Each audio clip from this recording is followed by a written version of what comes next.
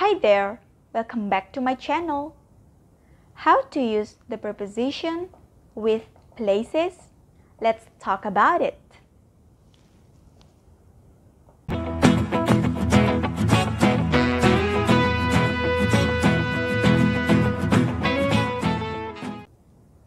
Which one is correct? I'm in the mall or I'm at the mall.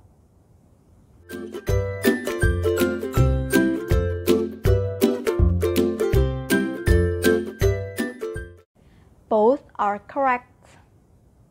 Kalau at the mall berarti general location. We point on a map, menunjuk ke peta lokasi. Sedangkan in the mall itu lebih spesifik.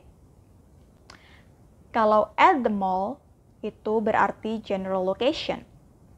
We're giving a point on a map kita ngas menunjuk ke uh, peta lokasi. Sedangkan in the mall berarti spesifik. We're being more specific, tertentu, nggak yang general, nggak umum. Misalnya dalam kalimat I'm at the mall in the sports store on the third floor. I'm at the mall in the sports store on the third floor. Jadi, um, I give you both general and specific place. So you can easily find me, right? Next, we use at with routine places. School work, and home. School, work, and home.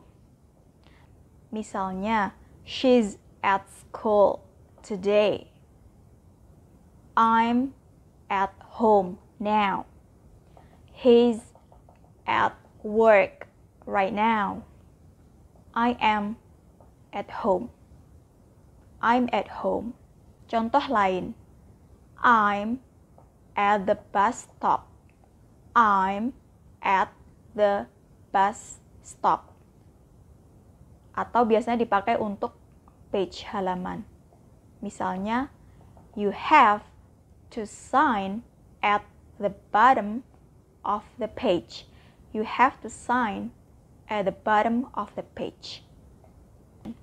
The next preposition is in.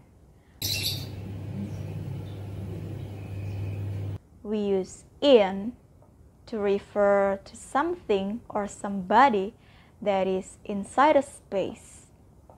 Dalam space, ruangan yang dibatasi oleh wall, tembok, dinding.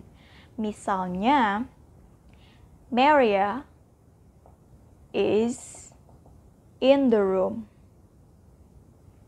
Maria is in her room in bisa juga digunakan untuk invisible space, ruang tertentu yang tidak dibatasi dinding.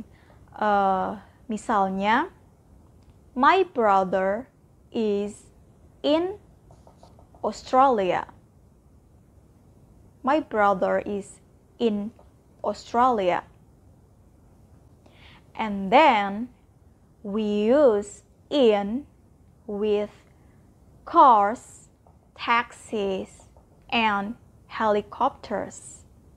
Misalnya, we are in the taxi atau we're in a taxi. You're in the car. You are in the car. In the car.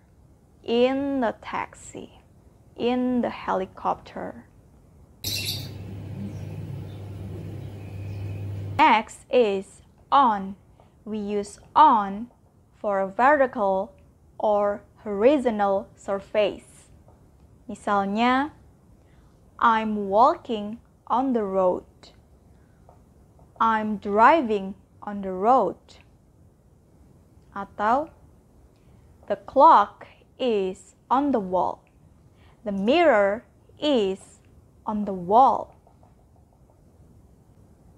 Jadi on itu bisa uh, di atas surface, misalnya di atas jalan, bisa juga uh, nempel. On bisa juga nempel di suatu permukaan, surface permukaan. Uh, the mirror is on the wall atau the mirror atau the clock is on the wall berarti nempel di dinding. Di apa? Nempel on berarti nempel uh, di dindingnya. Seperti itu. Well, that's all for today. Thanks so much for watching. Don't forget to give like and comment. And of course, subscribe. I'll see you on the next video. Bye.